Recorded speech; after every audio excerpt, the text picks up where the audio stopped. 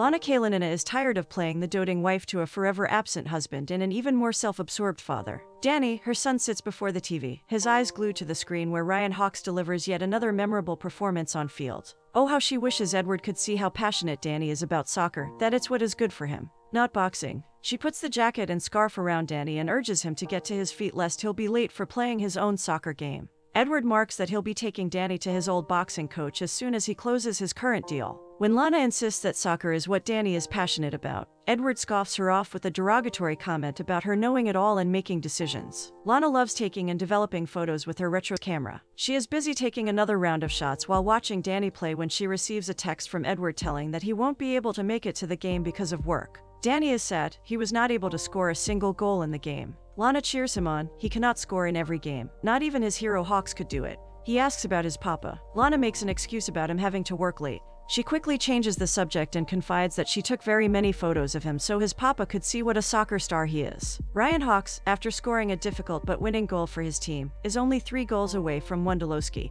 and Wright Phillips' shared record of 27 goals in a season. With the playoffs coming up, he has got to fancy his chances. His agent Billy's excitement is through the roof as they meet for the after party. He gushes on about Arsenal calling again, and if he likes English food, then they have a great offer for him. They want him big time. They are talking about doubling what Ryan makes now, and that would be without all the extra endorsements that he has currently going on. Ryan blows him a kiss, saying that is why he loves Billy so much. He then steps out for some autograph signings and paparazzi photos, meanwhile, asking Billy to excuse his presence at the Make a Wish Foundation that Sunday. He needed to focus on the playoffs. He wants to set the record. And since he can't make it, he asks Billy to donate some money as compensation 100 or 200 grands, maybe. Ryan's girlfriend Elise Martin cuts through the crowd then. She runs into his arms, congratulating him for the club record, and Ryan greets her with a kiss. He then turns to the crowd, cheering that it has been a good night, but it's going to get even better. He drops to his knees, holding Elise's hand in his own, and asks her to marry him. Elise shows off her ring to the gathered fans, and the couple returns back inside. Billy is not quite on board with Ryan's decision. He advises him to think a bit more on it. Back at the party, while Elise gushes about the proposal and her ring, Ryan gets busy drinking. On their way back from the game, Lana witnesses Edward with another woman walking into a bar. They get home and Lana sets about developing the photos from the game. She explains the process to Danny as she goes. The two of them are still working on them when Edward comes home. He enters Lana's dark room commenting on the new pictures. Danny hands him a fresh one that he has just developed. When Edward questions him what place it was, Danny solemnly answers that it's from his game that he has missed today. Edward apologizes in a patronizing tone, wanting to know if Danny has scored any goals. When Danny admits that he hasn't, Edward replies that there was nothing really missed then. Kissing Danny's head, Lana ushers him out to go do his homework. She turns back to Edward, her gaze burning holes in the back of his head. Edward snaps at her, someone has got to earn money for the family or else they will starve to death. Just Lana's films alone cost a fortune. It's a pity that Lana didn't have more of them. She would have loved to take pictures of him with that other woman. When Edward feigns ignorance, Lana tells him what she has seen. Infuriated, he turns around and smashes her camera to the floor, muttering that's what she gets for spying on him. He hovers over her, his fingers crushing Lana's arms. When she tries to shove him back, he backhands her across the face. Danny, who has been witnessing this altercation from the slightly ajar door, intervenes then, running over his mama, pushing his papa away from her. Driving back from their party, Ryan is a little buzzed. He is speeding down the freeway anyway. Elise shows him posts from tabloids, pointing that they are now almost as famous as the Kardashians. Their news is everywhere from ESPN to TMZ to Twitter. As Ryan bobs over to see the post, he runs them straight into a passerby vehicle, causing an impact of great magnitude. Early the next morning, Lana ushers Danny inside the car. She had packed what the bare minimum that they would need. It wasn't an easy decision, but one that she had to make if not for her own sake, then for Danny's. She is going to leave Edward. As she shuts the car trunk shut, Edward spots her from afar. He's just returned from his morning walk. But Lana is not giving him any say in it this time. She hurries into the driver's seat. Edward hollers from behind that she will be destroying this family, but for Lana, the damage has long been done. He reminded her that she has never earned a penny in her life. She will starve Danny at this rate and soon will come back running to him for refuge. Dazed, Ryan opens his eyes to find himself in a hospital bed. The first thing coming from his lips is Elise's well being. He asks where she is, how she is. Billy comes forward. Ryan tells him that he could feel there's something wrong with his leg. Billy tries to be his usual cheerful self. He explains that his leg got banged up a little bit. The doctors have taken care of it. As Ryan tries to move his arm, he finds it cuffed to the bedrill. Billy discloses that there has also been a fumble with the law, but he and his lawyers are working through it. A little community service, some don't drink and drive public service announcements, along with a few bucks to the Alcoholics Anonymous will surely be enough to put this behind him. Everything's going to be fine. As reality starts to sink in, Ryan realizes that he won't be able to make it to the playoffs or even the World Cup, for that matter. Oh, how he wanted to get that record. Billy hushes him over the nonsense. He assures him that he will be back in the field before he knows it and he will get this record, and every other one while at it. He will also get a driving under the influence record. Billy could understand how Ryan could be so thoughtless. What exactly was he trying to do? Redesign the Pacific Coast Highway? Did he think he was Frank Lloyd Wright? Ryan couldn't contain his chuckle at that, but he is scared. Billy kisses his cheek and steps back out, telling him that Ryan should rest,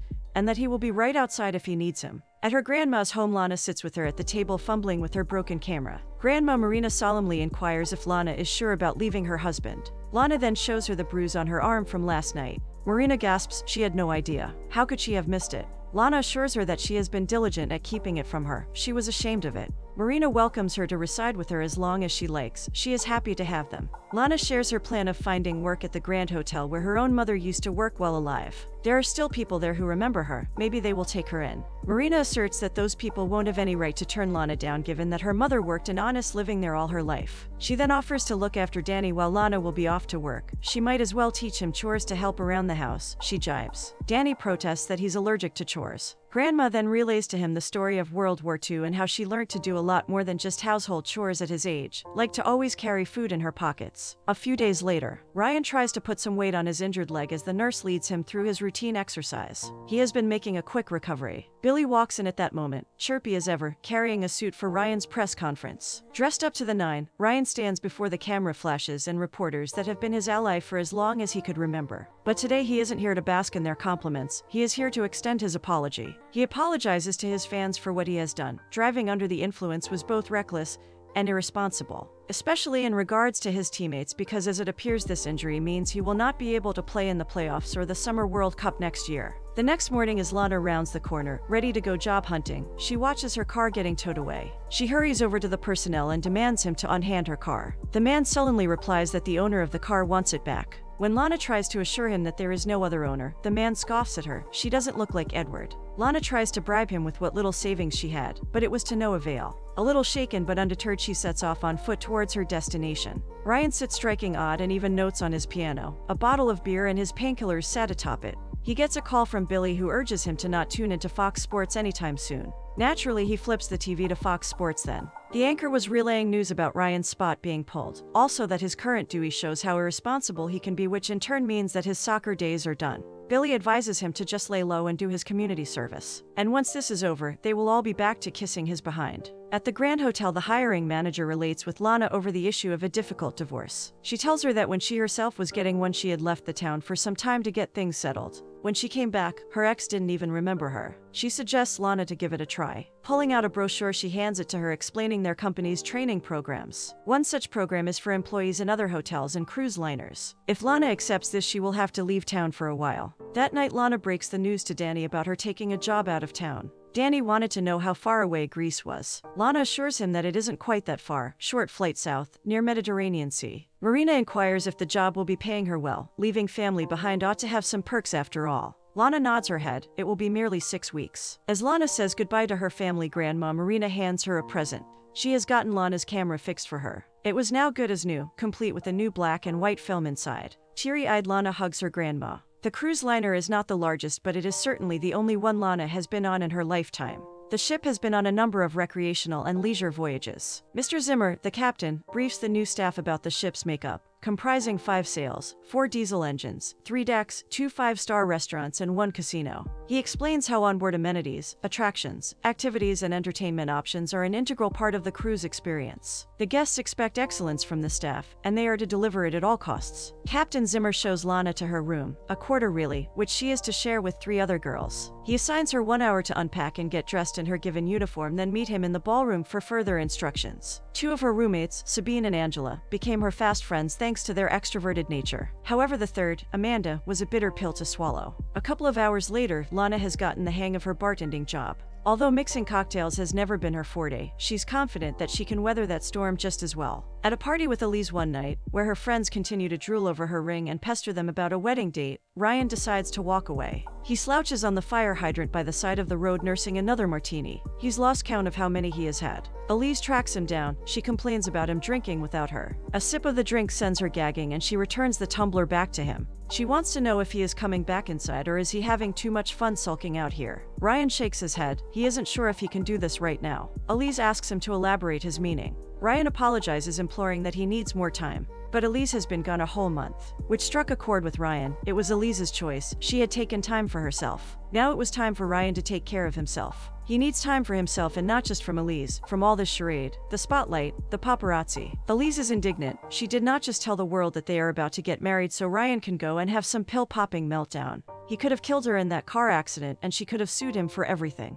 But she has stuck by his side. Now it's his turn to man up. They are going to get married this summer. Ryan scoffs, his shoulders shrugging with momentary defeat. She must really love him. He signals for a passing cab to stop and leaves Elise shrieking there on the sidewalk. She said summer, right. Ryan finds himself on a cruise ship in the midst of the Mediterranean Sea somewhere near the islands. For the first time in weeks, he is able to truly breathe again. As he stands there taking in the mesmerizing view of the glittery blue waters expanded before his eyes, he gets a call from Billy. Reluctantly, Ryan picks up. He wanted to know where Ryan was. What was he thinking? He cannot just leave. They have major problems breathing down their necks. That DUI has put him in breach of contract, which means Lang's not obligated to pay him a dime. Now he is most definitely thinking of canceling his contract altogether and suing him. This is no time to be taking a vacation. Lana spies from the cabin doors, Ryan Hawks throwing his phone away in the waters. Smiling slyly, she gets back to serving drinks. That night in her room, Lana walks in on Sabine and Angela drooling over a picture that Sabine has taken of Ryan Hawks. He is perfect, she says. Angela remarks she would love to get down and dirty with him if a chance provides itself. Lana reminds them that he is engaged. Amanda chimes in, pointing that TMZ reports that he and Elise have broken up. Besides, Elise isn't here, Amanda is. Angela says Zimmer will fire anyone he catches fraternizing with the guests. The next evening, Lana is busy polishing the glassware when Ryan slides into a chair at the bar. Addressing her with her given name, he introduces himself. Lana knew him, of course, who wouldn't recognize Ryan Hawks. Slightly annoyed that he could not escape his public persona, Ryan asks her if there is a guest's memo or something. Lana smiles and inquires what she could get for him. Ryan encourages her to drop the formalities with him.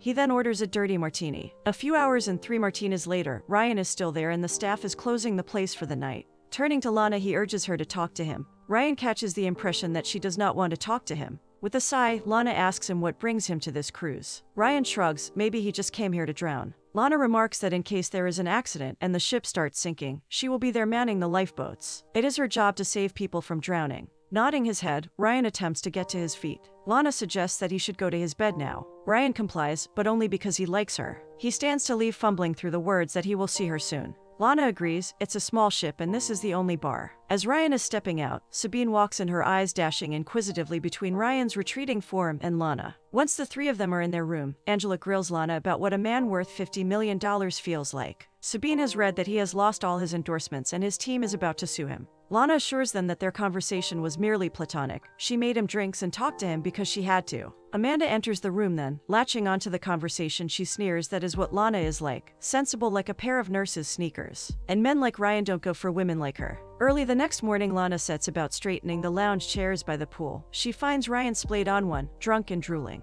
Hearing her footsteps, he greets her as his lifeguard. His inebriated state makes Lana advise him to stop drinking. Ryan wastes no time in doing her bidding and tosses the tumbler to the side, crashing it on the deck. Lana winces, just another thing that she needs to clean up. Watching her get down on her knees to clean up his mess, Ryan is ashamed of his action. He stoops beside her and helps her collect the shards. On a video call from Danny, Lana learns that he has been settling in quite well with her grandma. He tells her that he has made a new friend. Her name's Elena. Lana is surprised to hear that it's a girl. Danny never liked girls before. That evening, when he stops by the bar, Ryan apologizes for his behavior earlier. Daiquiris and painkillers are a terrible combination. That and the fact that most women, when they meet him, are a lot flirtier, a lot nicer. Well, Lana is not like most women, she replies. And she is definitely not his kind of woman. Ryan wouldn't say that. He shakes his head, nice try at salvaging. He follows her out the door, urging her to take a break with him. Lana requests him to stop following her. He would get her in trouble. Just then, Captain Zimmer asks Lana to come speak with him in private, leaving Ryan flabbergasted.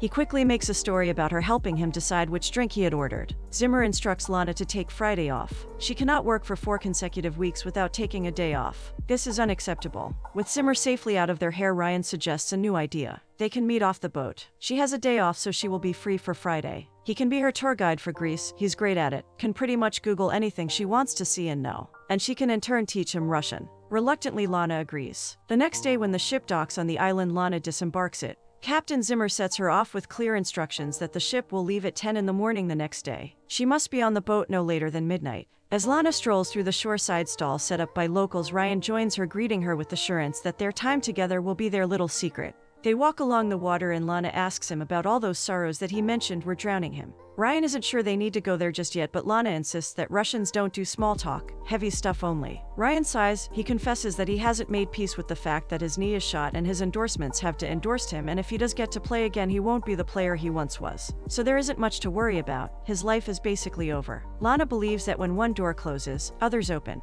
Ryan eyes her suspicious whether she was some undercover journalist that got on board with him. They both laugh at the absurdity of the thought. For Ryan, it is not about seeing doors, it's more about how people see him. Lana observes that he is actually afraid that people are not going to like him for who he really is. Ryan scoffs, When you are in the spotlight, everybody wants to be your friend. But as he is finding out, when that goes away, so does everyone else. Lana suggests that he should set his mind to something other than soccer now that he has all this time on his hands. Ryan admits that's what worries him. He doesn't know anything else. Ryan hasn't always been this hotshot athlete. He has trained his whole life to be the best he can be at this one thing playing soccer. All the other stuff just came with the territory. So now, without soccer, he is not anything really. Lana isn't buying it. She is certain Ryan possesses many more talents. He just isn't aware of them yet. There is the whole world out there waiting to be discovered, but no one can discover anything without taking the first step. With that, she casually steers them into the water and spatters him with it until they are both semi drenched. Their stroll leads them to a group of kids playing ball. Ryan returns the ball to one of them and they recognize him. Lana urges him to go play along with them. It will make their year, if not life. Ryan takes her cue and joins them. Lana captures these moments in her camera. Ryan's knee isn't quite healed as much as he would have liked, so Lana fetches some ice for him after the game. They sit by the sidewalk and Ryan thanks her for encouraging him to play. It felt great. Lana waves the compliment. She's sure he gets way more encouragement than that from her fiance. They look so good together. That is the thing, Ryan remarks. They're good for magazines and photos, but not good for each other. He came out here because he was uncertain of their relationship, but things are becoming clearer now. Lana finds that moment as good as any to request him to sign one more autograph. For Donnie, she tells Ryan that he once had the tryout for Zenson St. Petersburg boys, but now just plays for fun. Ryan is his hero. Ryan invites Lana to have dinner with him. He knows this really nice five star place with delicious food and a spectacular spot. Lana isn't convinced this could be a good idea, but Ryan's insistence bends her will. Lana hurries to her room aboard the ship. She needs Angela and Sabine's help. She has nothing to get dressed for this dinner. Lana meets Ryan at the decided spot dressed in a teal silk dress. Her icy blonde hair made her look like a Greek goddess walking up to him. They get to the restaurant, which turns out to be a haystack diner with the board announcing its name five stars. Ryan is mortified. He suggests that they should head back to the main street and find a finer restaurant there, but Lana insists on staying. They have dinner, which Ryan jokes couldn't be more than two days old. Lana takes in the view and the company, snapping a few more photos while at it. Eventually, Ryan agrees this place was perfect. He didn't get exactly what he wanted, but he got something even better. They dance to the acoustics playing. As they lay on a blanket with Lana teaching him various words in Russian, Ryan whispers that she has an uncanny ability to make him forget all that is bad and focus on only the good happening around him. He kisses her then, gentle, sweet, and oh so long. Suffice it to say that they nearly miss their ship. Lana wakes up the next morning with the sun shining high on the horizon. They make it to the cruise before 10, but it does not go unnoticed by Zimmer. He is there waiting for Lana when she tries tiptoeing to her room. Zimmer points out that Lana's identity card was never scanned back in last night. Her friends tried to cover for her, but he knows exactly where she has been. Amanda told him that she has absconded into the island with Mr. Hawks, which is highly inappropriate. Lana's attempts at clarification are swept sideways. Zimmer reminds her that fraternizing with the guests is an irreversible breach of contract. She should go pack her things now because he wants her off the ship instantly. Dejected and mortified, Lana makes her way off board. Ryan follows her infuriated about the unfairness of this whole situation. Lana requests him to let it go. She has been embarrassed enough for the day. Sighing, Ryan asks to at least let him compensate for her accommodations. He takes her to a resort he used to frequent a few years back. Reminiscing about old times makes him want to stay there a little longer. They get two rooms for the night. The next morning on call with Grandma and Danny, Lana tells them that she's in Halkidiki and will be home in a few days. Danny is surprised. She was supposed to be in Mykonos. That's where the ship is, Lana retorts. That afternoon, Ryan finds her on the terrace tracing a brush through her hair. He presents her with the Lockhart pendant that they had come across on a stall by the beach. Lana is torn. She does not want Ryan to think too much into this relationship. He's engaged and Lana's life is a mess. Ryan insists that he has taken this trip for a reason. He and Elise are not meant to be together. Lana is not convinced. They come from two completely different worlds. Legally, she is still married. She confesses that she has wanted to tell him earlier, but she never thought this would get so far with him. It was supposed to be fun, a recess for him. Ryan admits to having been a confused man when he stepped on that ship, but not anymore. And it's because of her. Lana reminds him that he's only known her for five days. Ryan reiterates that he has played soccer all his life, but she has made him forget it even exists. They are meant to be together. He pulls her in for a kiss. Lana could no longer resist. She melts into his embrace, their bodies working in sync with one another. Ryan drives Lana to the airport the next day. There he realizes he has got no way to get in touch with her, no email or phone number. Lana remarks what if they go back to their lives and he realizes that it wasn't meant to be. Ryan insists that could never be. So Lana suggests that in two months if he still feels the same way, he can come find her. They need that time to go back to their lives and do what needs to be done. Then if he still feels the same then he can come find her at St.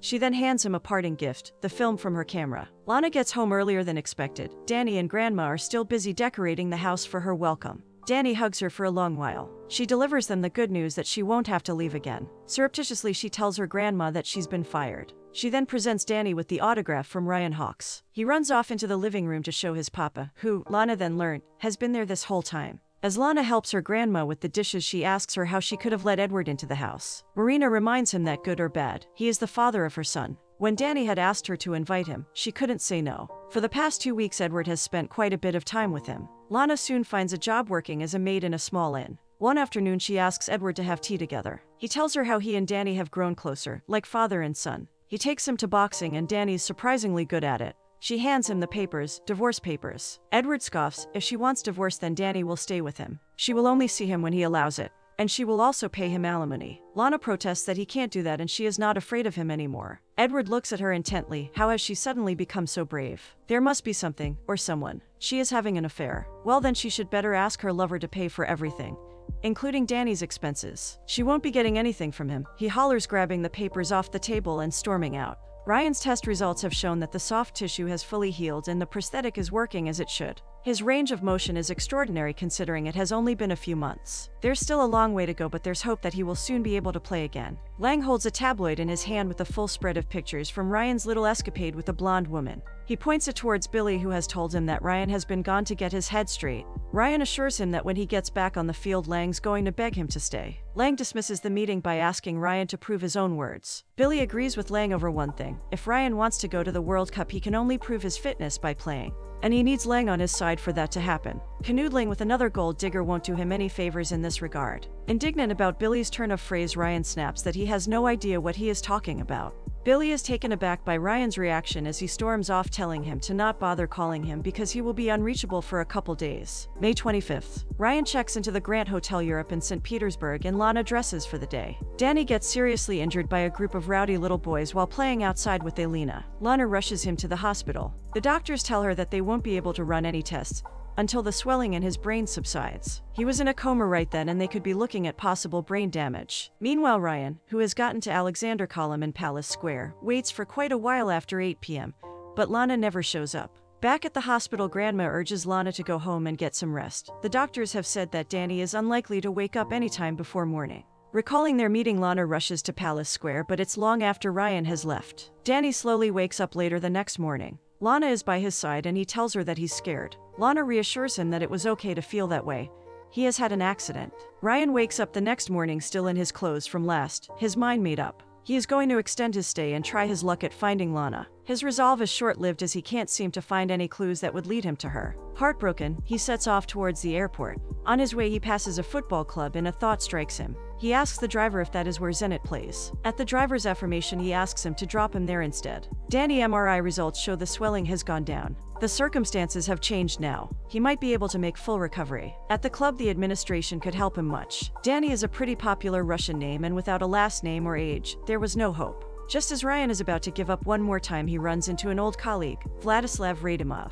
After the pleasantries, Vladislav invites Ryan to join him for the Make a Wish Foundation. They were visiting hospitals today. His presence might make someone's year. They get to the hospital, and while Ryan is getting his tour, a nurse approaches them saying that they have a big fan of his in the neighboring ward. Would he mind going and greeting him? The doctor leads him to Danny's room, and Ryan is amazed to see all of his merchandise decorating every available surface there. Danny is over the moon. Ryan tells Danny that he could relate to getting injured while playing. He asks what day it happened. The doctor answers, It was a few days ago, the 25th. Ryan then invites him to come and watch his game in low once he gets better. As he gets up to leave, Ryan spots the napkin that he had autographed. He asks Danny where he got it. Danny explains his mom got it for him. She said Ryan was on her ship. Ryan's hands are shaking. Words barely leave his mouth as he asks Danny his mother's name. Lana. It is Lana. Frantic, Ryan asks Danny to tell him where his mom is now. Danny replies that she has left a short while ago. She would probably be crossing the bridge if she hadn't caught the metro. Ryan is running. He can't take any chances this time. He refuses to take any. The bridge is pulling apart when he gets there. He spots Lana walking on the opposite end.